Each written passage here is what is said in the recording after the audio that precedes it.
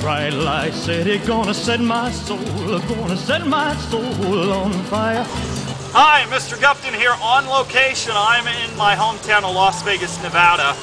What Las Vegas has a lot of is swimming pools. I've got a math activity for you. Now this will be due May 9th and it's worth 50 points. Now this pool is 14 feet by 47 feet. The depth is 3 feet 6 inches. So what is the volume of this swimming pool? But wait, here's the catch. They don't fill the pool up all the way up to the top. They leave about 2 inches from the top of the pool to where the water is. So please calculate that.